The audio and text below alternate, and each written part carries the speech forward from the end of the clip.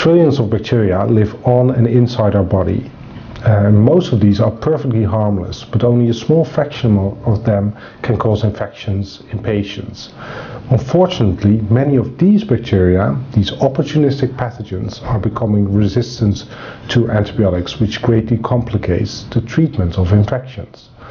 Uh, my research uh, aims to understand how these bacteria evolve to become resistant to antibiotics and how they can infect patients.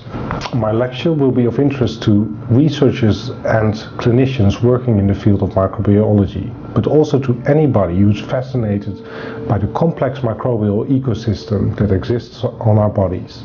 Antibiotic resistant bacteria are a major threat to public health.